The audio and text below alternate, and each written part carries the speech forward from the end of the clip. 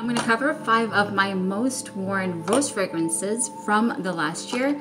And my last video, I'm going to pin it up here. We did my five most worn niche fragrances, but today we're going to cover, as promised, my five most worn, how many times I'm going to say that, affordable rose fragrances. So we're just going to hop right in. I feel like I haven't greeted you guys in a minute. So hi Habibi, welcome back to the channel. Thank you so much for being here. I always appreciate you. And while I'm going to be talking about those fragrances, um, I'm going to actually just cook myself some cold dinner, I guess. Um, just gonna make a melted cheese sandwich with basic American cheese here. Um, some Irish butter, and in case you never um, heard of this trick, or if your mom never did it for you, just put a little black pepper and garlic powder in it, and it tastes so good. And right now I don't have any tomatoes, but if you put tomatoes in there as well, and you fry it all together, life-changing. But currently I don't have tomatoes, so I have to suffice with just garlic and black pepper. All right, so let's just get into it. I'm gonna turn on the stove and just cover the five of them. One of them, um, I kind of sort of wanted to mention, but it wouldn't fit into the topic of most worn. It's, so I guess I'll do it as an honorable mention. It's Mauboussin Promise Me Intense. I think I mentioned it in a couple of videos back, that it is a really expensive smelling rose fragrance.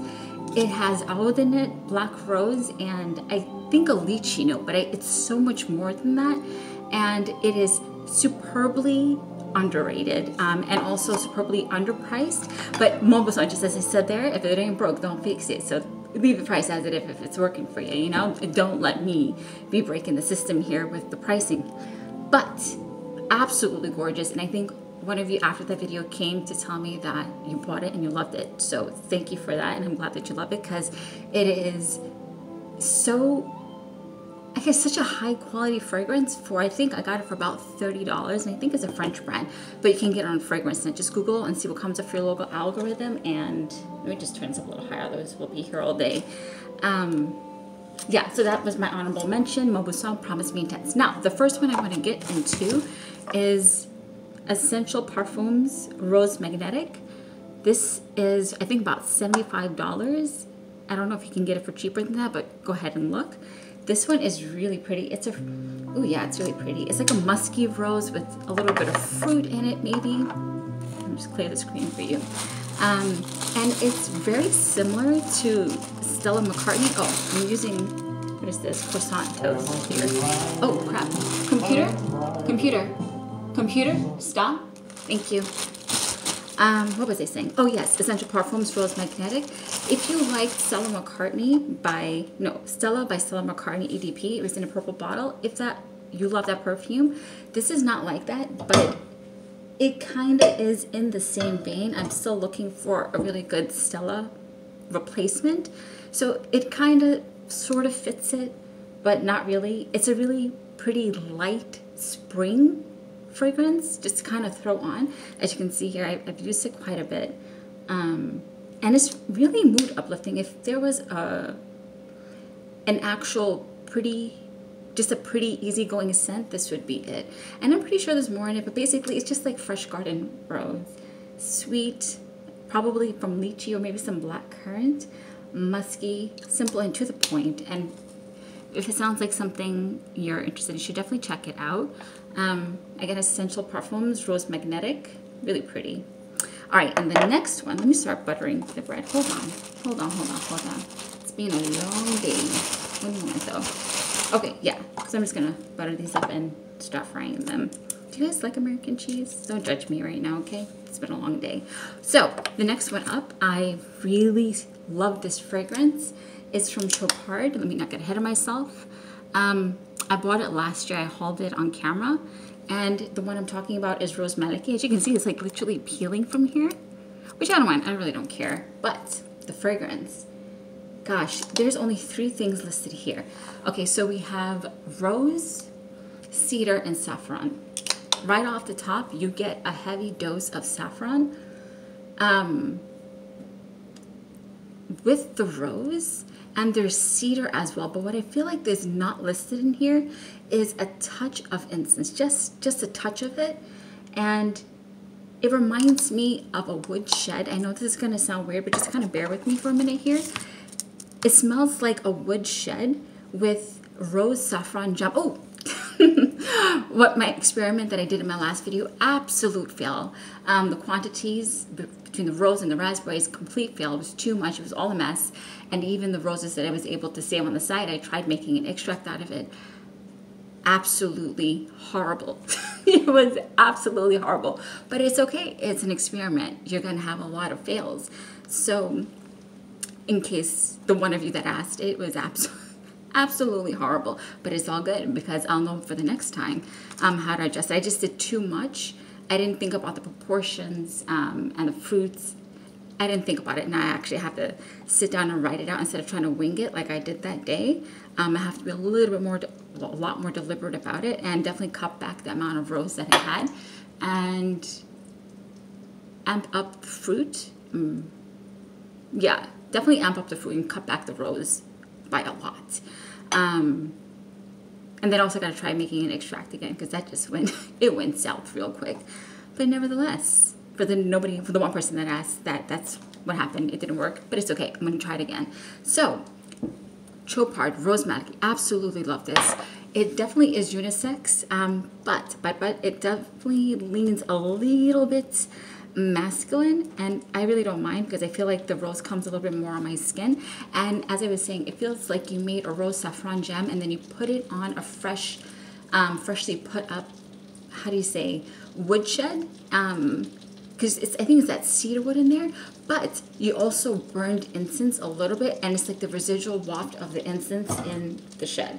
And I know it sounds really weird but it smells absolutely beautiful and you actually don't need that much it's not a strong projector. I think it's just about within arm's reach, but it kind of it sticks to your clothes for like eight hours. Like if I move my neck, I'll I'll smell it over here. It is so pretty, um, and I think it'll men will like it probably more than women unless you like saffrony scents because it's heavy on the saffron. So sometimes it can come off a little leathery, but I like that, but not uh, not um, a worn out leather, more just like a gentle leather. And again, it's just a little bit. And on the side note, speaking of saffron, I've been eating saffron my whole life, but you know how when you deliberately do something intentionally? So I actually ate a piece of saffron and focused on it instead of just eating it with food and not focusing on it. And I realized actually eating raw saffron um, and, and really putting my attention solely on the taste and not mixing it with anything else, it actually kind of tastes like leather. It is the weirdest thing. It adds a very aromatic compound um, or a flavor and a smell and a color when you cook with it. But just eating it straight up and just kind of like putting it on your tongue and letting it sit. Wait, hold on. I gotta get the ratio of um, the cheese right. Um, I'm very specific with textures and foods and all the things. Hold on. Oh yes. Anyway, I ate a piece of saffron. Just kind of let it sit. Um, and I was a little surprised. Um, I, I know that saffron and Safraleine and all those things can come off as leathery in, in perfumes, but it was a different experience to taste the smell, if that makes sense. Um, I just I just found it so fascinating, and also keeping it just focusing on the texture too. It almost came off. Um, it felt a little leathery too. It was a little weird. Um, actually, not weird. It, it, was an interesting experience. Um, and it's so funny. I've literally been eating it my whole life in food, and uh, I never stopped to stop and taste the saffron on its own. So it was so funny. Um, just thought I'd share that with you because I was talking about this because it is saffron heavy. Um, yes, so rose, saffron, cedar, a little bit of um, incense. Absolutely gorgeous, darling. Absolutely gorgeous. Hold on, I need to get one more. Okay, so I'm gonna put this over here and just let that start toasting. Um, while I talk about the other one and butter this up. Oh, and, uh, I'm not gonna really make anything with this other than I'm just gonna chop up these cucumbers um, and eat them. These are organic, I already washed them and scrubbed them. Um, and I'm just gonna eat them alongside my sandwich. Yes, ouch, good gracious, I just knocked my own hand. Anyway, so the next one up is a discontinued one, but I still think if you're able to find it, try and get it, but I mean, this is my most worn rose fragrances, so it wouldn't be accurate if I didn't put something that I wore a lot. Now, what am I yapping on about? It is Rituals Rose de Shiraz. It's from, I guess, like a higher end Bath and Body Company. I, I went to Rituals like years ago when I was in New York, living in New York. Um, they sold like bathrobes and incense and room diffusers, that kind of vibe, like an like an elevated spa experience at home. That's what my memory of it is, and I remember being stupid pricey.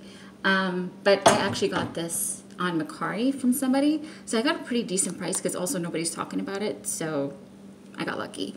And when you look at the notes, you may be tempted to think that it smells like Delina or yeah, Delina, um, based on the nose. Oh, or Delina La Rose, and it's absolutely not like any of them. And of course, they're in the same category family of like a, a, a fruity rose, a little tart rose, a fresher rose, but it, it fascinates me to no end, just like with cooking or um, with even perfume. You can put the same ingredients together and have a completely different outcome, or just like even like siblings too, right?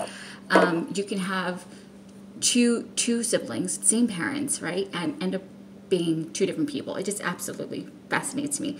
And it's the same thing with here. So we have musk, we have rose, we have, I believe, peony, we have fruits in there, something tart. And there is this ozonic note that gives a freshness to the rose that is so pretty. And I love wearing this when I come out of the shower because it doesn't last too long.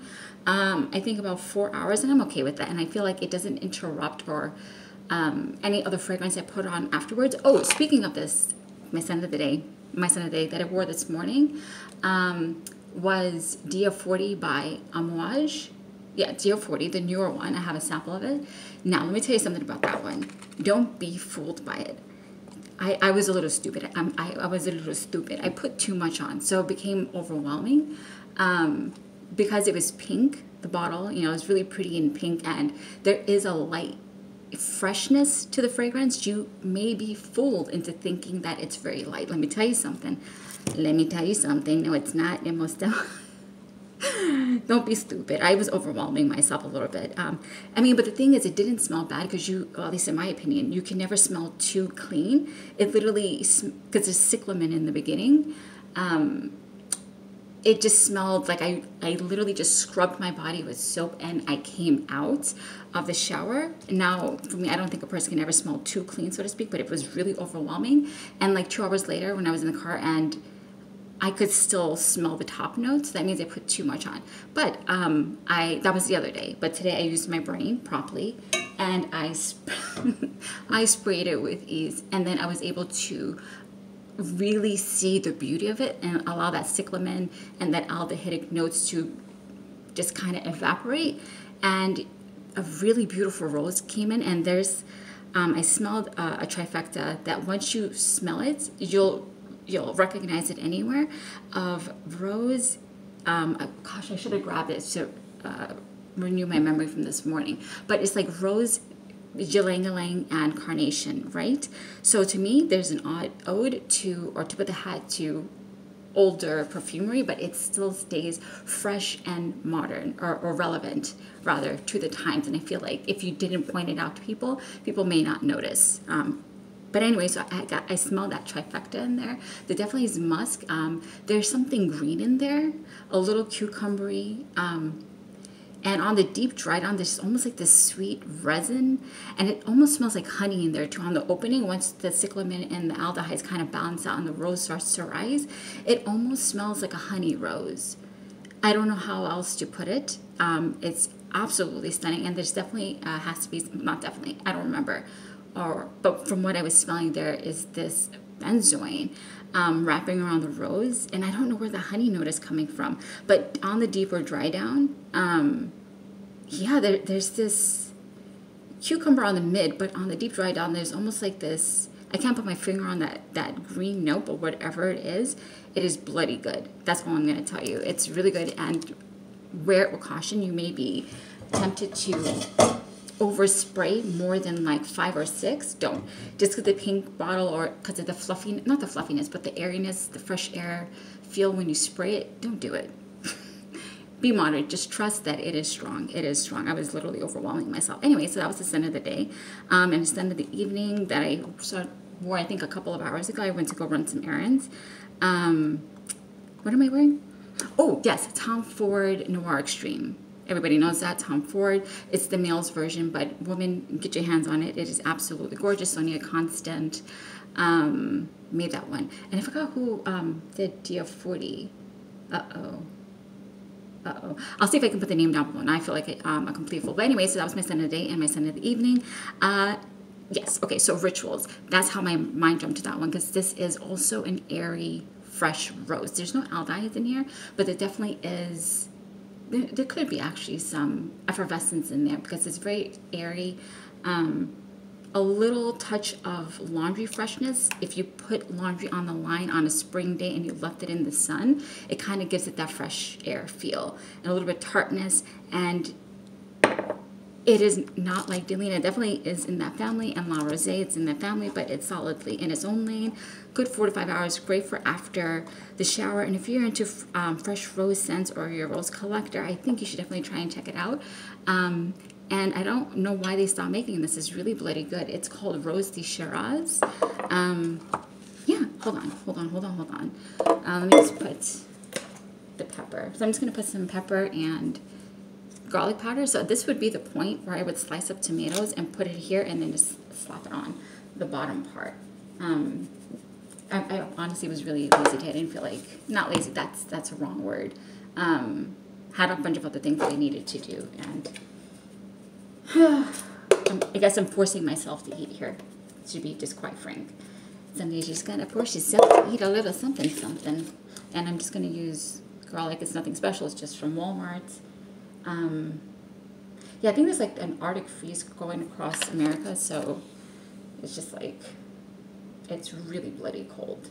And I get cold very quickly. Anyway, enough yapping. Let me just put this here and I'm just gonna let it toast for a while. And so while that's toasting on one side, I like to do it slowly because um, I like to get a really perfect brown color and, and crunch. I'm very specific with it. So I'm just going to wipe this off in the sink and to start um, chopping my cucumbers here to make a salad for myself. Um, yes, so the last two are from the same company, so I guess I'll kind of mention them together. Um, bloody all right, whatever, we'll just grab this because other one's in the dishwasher. Okay, so the next two is from a Middle Eastern brand, but they're decidedly not Middle Eastern perfume. Well, wait, hold on. So let me back up there. This one is not a Middle Eastern profile, but this one leans in a Middle Eastern scent profile. And it's a I, I want to make a distinction here because I've talked about this in one of my videos, and if I remember, I'll, I'll put it up here, where I've noticed this thing on YouTube, and I'm not doing this to, to be um, to, you know, be pointing fingers at people because I've done it myself in the past and I, I, want to catch myself while I'm doing it to make the word Middle Eastern is synonymous with clones. That is not true. Middle East has their own scent profiles, um, their own perfumes. Um, Swiss Arabian's been around since 1975, I believe. Um, and obviously, perfumery and others and oils have been so deep and pervasive in the Middle Eastern country for centuries.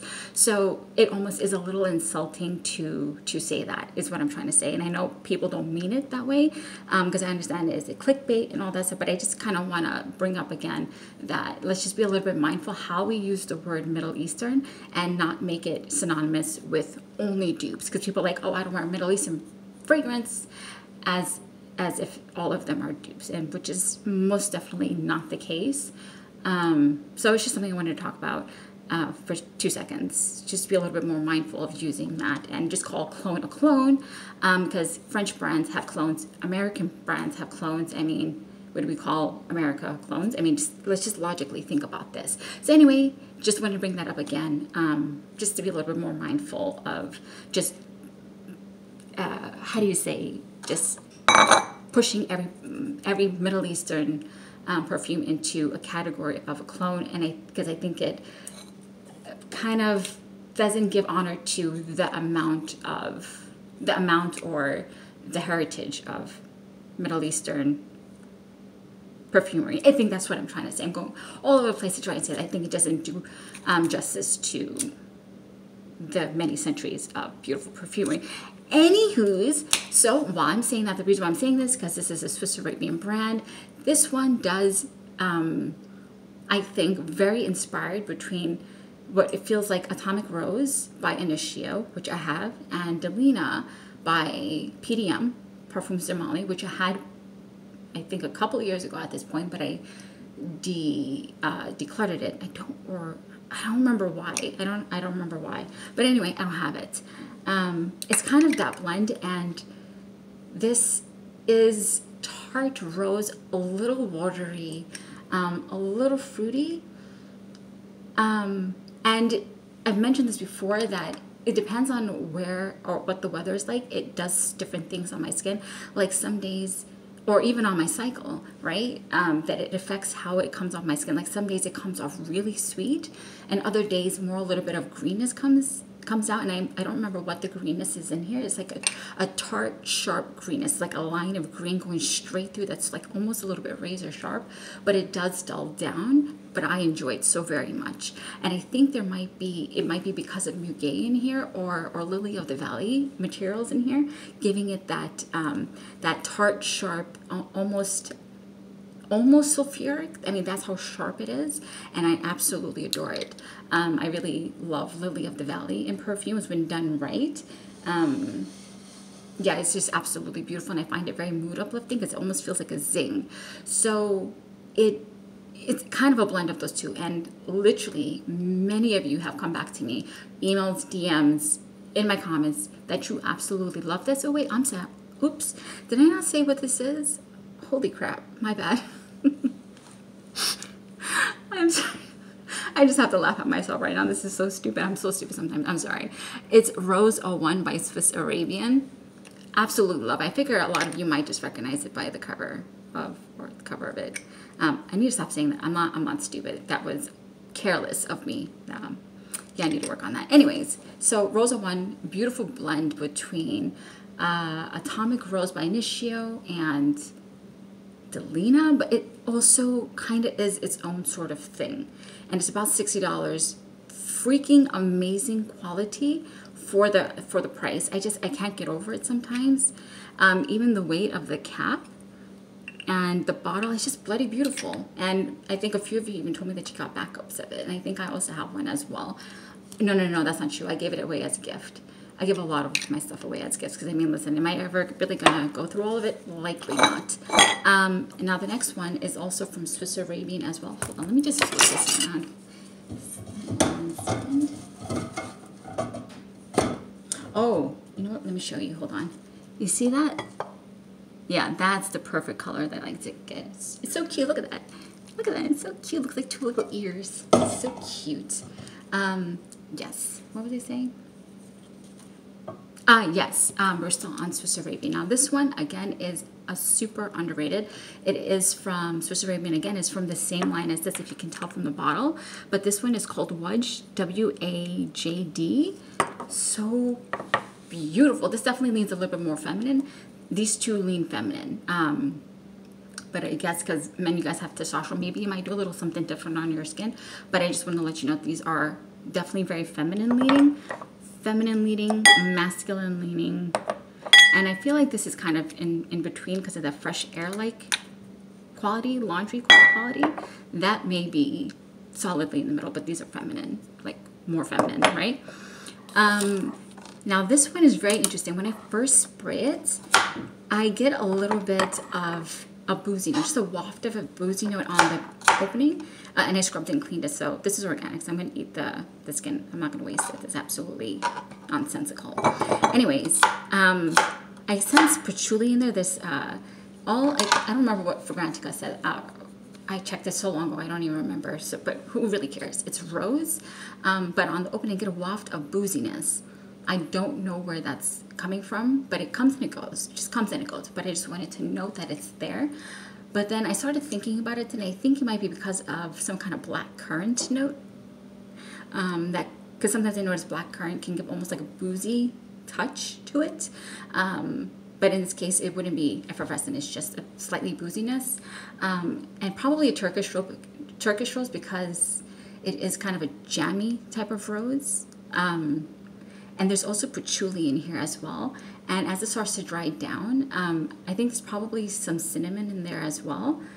Um, and definitely some wood, so perhaps even sandalwood. I, I think I I could feel there's a little sandalwood on the dry down, but basically it is great for evening. And every time I wear this, I will literally get followed. But yeah, actually mostly mostly men, to be quite frank. They really like this scent.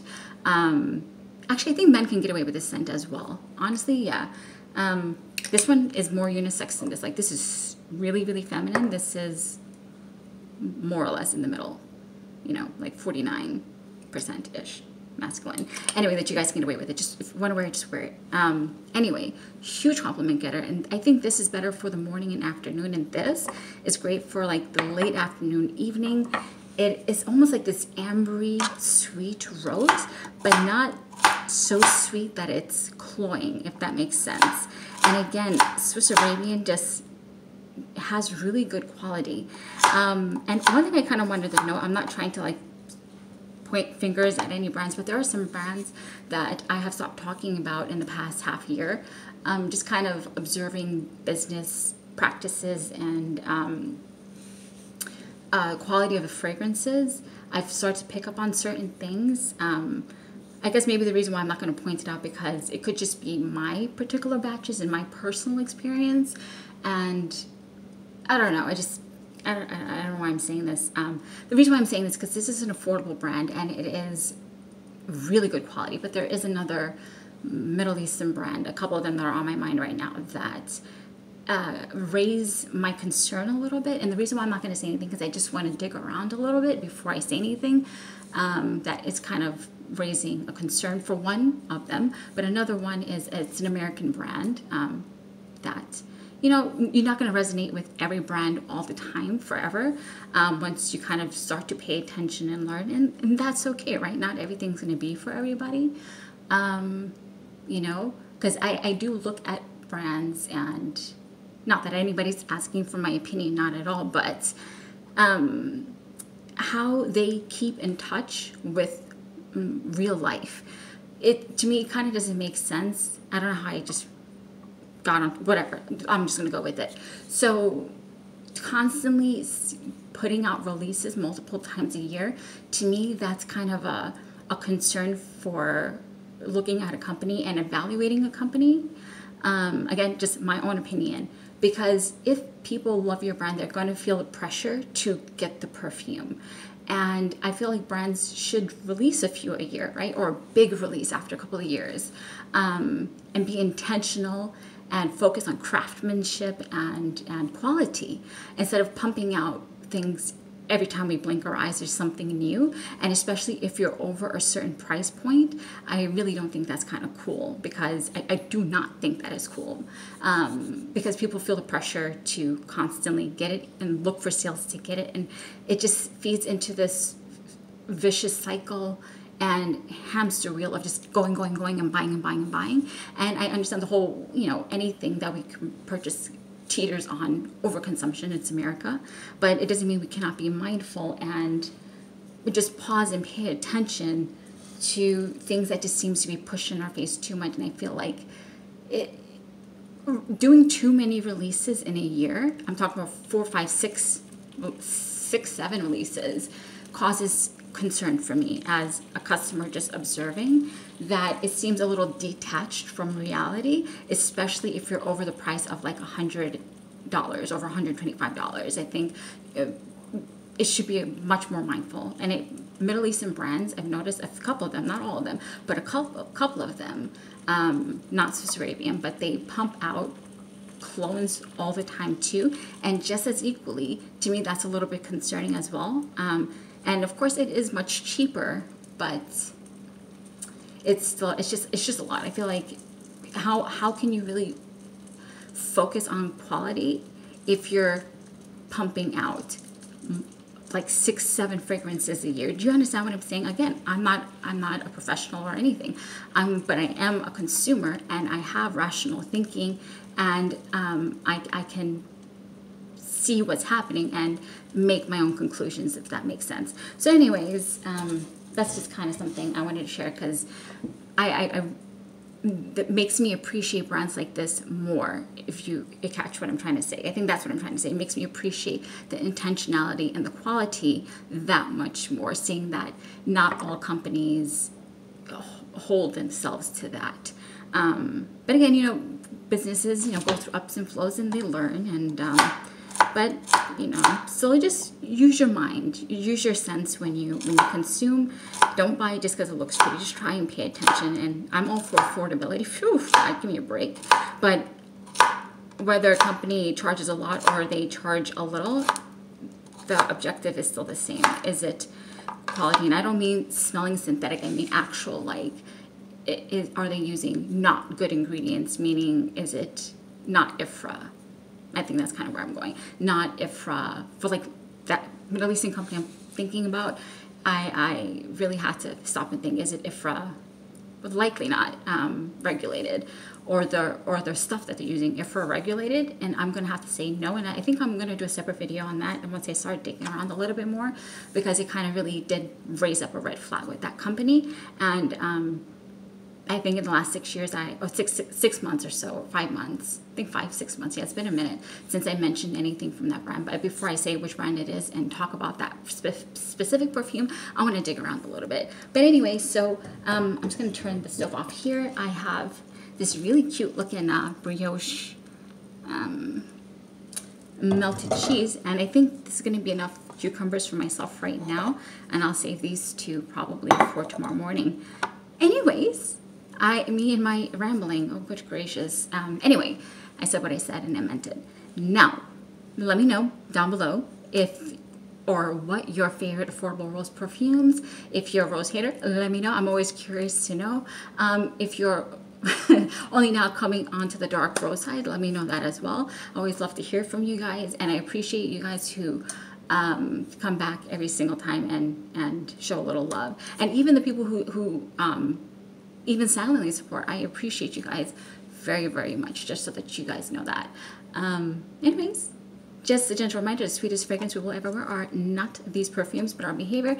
And another gentle reminder, find somebody to thank today, even it's for something small. And more importantly, take a moment to thank God, because if you're here watching this video, that means we made it into yet another day. And even with our trials and tribulations, God is great. Thank you, my friend. Bye.